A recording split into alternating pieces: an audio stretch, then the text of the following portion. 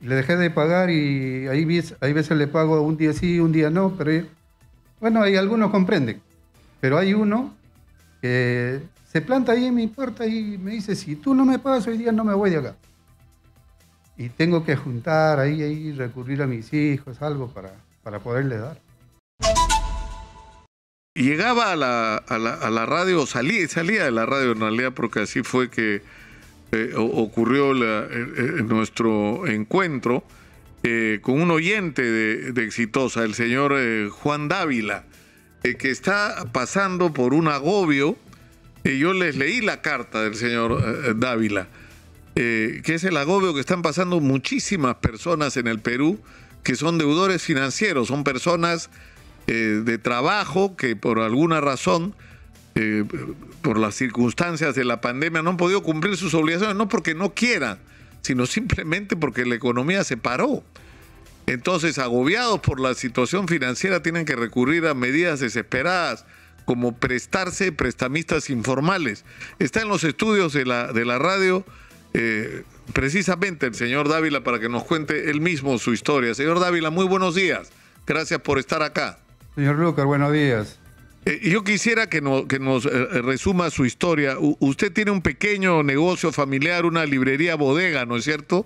Sí, señor Lucar. Yo hace 25 años me quedo desempleado y pensando, porque yo siempre tenía esa eh, intención de ser independiente. Y forjé un negocio familiar conjuntamente con mi esposa y mis pequeños hijos en ese entonces, hace 25 años. De los cuales iba muy bien, muy bien, muy bien hasta que llegó esta, yo le digo, maldita pandemia porque en realidad no solo a mí me ha hecho daño, ha hecho daño a todo el mundo, especialmente a los que menos posibilidades tenemos. Y uno de esos soy yo. Y cometí el, el, el más grande error, ahora me arrepiento mil veces de haber este, este, ingresado este, a, a pedirle plata a los informales. Y ese es, ese es como una ruleta que abres una ventana, cierras otra, abres una, abres otra. Y eso es de nunca acabar. Y así es que ahora ya dije, ya, como ya está, ya mi mercadería ya me he quedado prácticamente sin nada. Como quien dice, yo la carnecita ya se acabó. Y ya no tengo para reponer. pues. Entonces, ¿qué, qué hago? Ya mis hijos ya me han ayudado bastante, han podido. Ya tampoco no les puedo pedir más porque también tienen sus, sus hijos, ya tienen su familia. Claro, pero la, la- la- la cadena es esta. Es decir, usted tiene un negocio que en realidad dependía de que el colegio que queda al frente Claro. funcionara porque ahí, ahí estaban sus clientes, ¿no es Esa cierto? fue ya la estocada final. ¿No? Ahora, eh, eh, usted para montar su negocio adquirió una deuda como hace mucha gente, ¿no es cierto? En un banco, Claro. en una en una caja y usted pagaba sus obligaciones. Pagaba puntualmente. Pero viene la pandemia, se para Ya todo, usted no puede pagar. todo. Paralizó todo. Le cuento que Pero le seguían cobrando, ¿no es cierto? sí, incluso en la pandemia. Porque yo, yo para decirte claro, yo vivo del negocio, yo nunca he cerrado en la pandemia. Gracias a Dios nunca he cerrado y tampoco me dio la, esta enfermedad, ni a mí. A mi señora le atacó un poquito, pero fue leve, ¿no? Y a mí no, no, gracias a Dios hasta ahora no me dio nada, pero yo he, ten- he atendido mi negocio porque yo tengo librería, tengo helados, tengo gaseosas. Es una bodeguita, es una bodega librería, ¿no? Y resulta que llega la pandemia, se cierra todo y ahí me venían a cobrar. Bueno, dije ya, ya. Hay veces tenía, le daba, hay veces no, ya.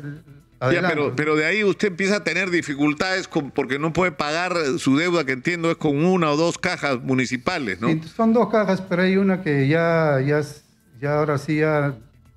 O sea, yo, le debí algo de tres mil y tanto. Ahora, el 25 de, de septiembre, me vino con una carta que, que dice que mi deuda, si no le cancelo, este, va a subir a 18 mil soles. De 3 mil soles. señor ¿Y, cuál es su, su garantía? ¿Usted es dueño de su local? Yo ¿Cómo- soy dueño de mi casa, es mi, es mi propia casa. ¿Y, cuál es el riesgo? Que lo embarguen. Claro que me, me- me van a quitar las máquinas, eh, mi televisor, eso es lo que me dijo el señor. No dice en el papel, pero sí me Pero dijo que si usted no entonces paga- usted en esa circunstancia usted desesperado recurre a estos prestamistas que son sobre Ajá. todo colombianos, ¿no es Sí, cierto? sí, sí. es un negocio que manejan organizaciones colombianas y que es un negocio informal. Es, una especie de banca informal, banca paralela, sí. Ellos van y te ofrecen. Y hay veces por la desesperación tú ¿Y, dices, y, cuánto le cobran? Porque esto a veces es un pago semanal, ¿no? ¿Usted cada es, cuánto? Es diario, señor. Diario, Dios mío. Y es el 20%. O sea, por ejemplo, a usted le dan eh, mil soles, ¿usted cuánto tiene que pagar? 1.200 soles. Y, y, y, cobran en cuotas de 24 días para pagar diario. ¿Y si no paga? Y eso es lo que pasó ahora, ya una, hace más o menos 15 días que ya le he dejado de pagar porque ya, como le digo, ya me he quedado sin mercadería y ya no, ya no tengo los ingresos este, como tenía más antes. Le dejé de pagar y ahí, hay veces le pago un día sí, un día no, pero bueno, hay algunos comprenden, pero hay uno que se planta ahí en mi puerta y me dice, si tú no me pagas hoy día no me voy de acá y tengo que juntar ahí, ahí, recurrir a mis hijos, algo para, para poderle dar. Porque si no, no se va y hasta incluso me dijo, mira hermano, si tú no me pagas tu deuda, toda tu deuda no me pagas, yo vengo y te quemo tu casa. Así me dijo. Exitosa. Y no son palabras, ¿no? No son palabras, sí. Yo, yo he escuchado o sea, casos, yo he escuchado casos que sí se, ha dado el, se han dado casos que sí lo han ejecutado. Y ese es mi gran temor, señor Lucas. Por eso que yo recurro a usted ya desesperado, ya que es la última que estoy intentando, porque en realidad ya no, ya no puedo más. ¿Qué puedo hacer? Qué situación entonces, increíble. Dije, entonces dije, ya voy a recurrir a la prensa, porque la verdad, ¿qué me hago? Y si me sucede eso. Claro, lo que, lo que resulta increíble es, es, es decir, lo que, lo que le, le, le está pasando a usted Señor David, es algo que le, le, está ocurriendo a cientos de miles de peruanos. Sí, sí, ahí en mi cuadra nomás, señor Lucar, ya la mayor parte de negocios han cerrado. Yo quedo yo y unas dos, tres bodegas más arriba.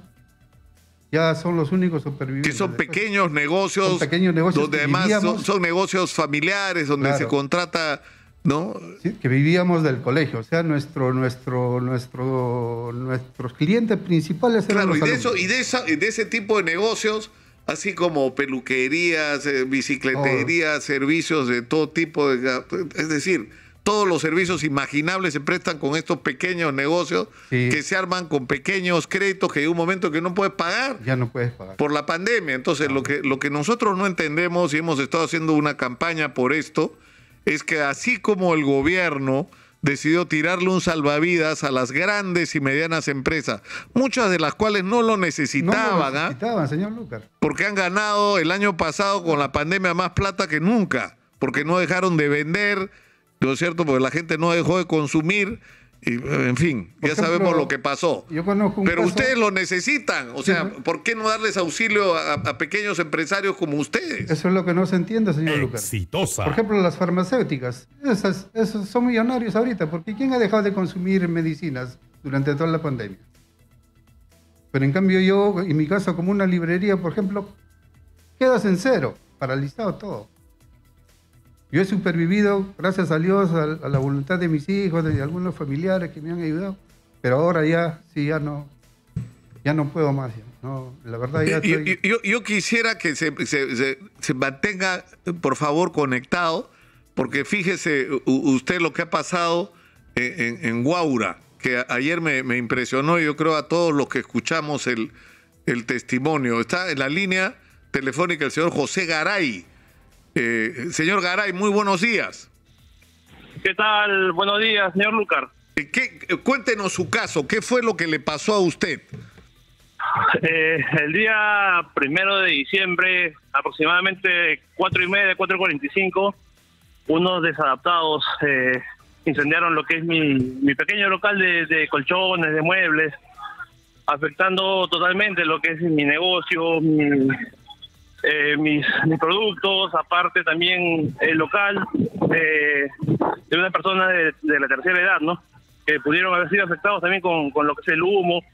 Ahí, había, ahí vivían niños, vivían personas de la tercera edad, como, como le repito. Ahora, usted lo que contaba es que le queman el local como, digamos, el final de una historia, porque lo usted tenía unas deudas por pagar. Eh, lo que pasa es que yo yo he tenido este hace tres meses aproximadamente llamadas de extorsión. A mí me han estado extorsionando. Ah. Entonces, como no no accedía a pagar lo- los cupos que me pedían, hace mes y medio más o menos también me reventaron la luna del local, pero ya el día primero se fueron al extremo, ¿no? De quemarme todo el negocio. Le quemaron el negocio porque usted no quiso pagar, en este caso, extorsionadores. Exacto, así es.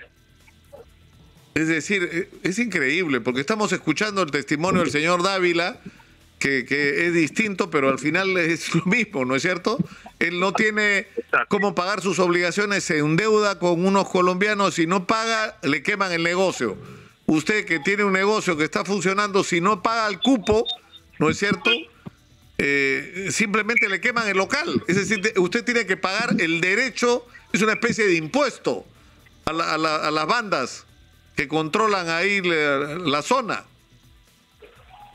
Exacto, eh, no solamente es, es mi caso, no, ya anteriormente también a un local le habían puesto lo que es un explosivo, detonaron lo que es su, su puerta, todo eso, pero ya conmigo se fueron eh, eh, al extremo, ¿no? Quemaron todito. Ahora me he enterado que también hay muchos comerciantes que, que están siendo extorsionados, pero callan por por temas de represalia, Y están, pagando. y están pagando. ¿Y cuánto es lo que cobran? ¿Cuánto es lo que cobran, señor Garay?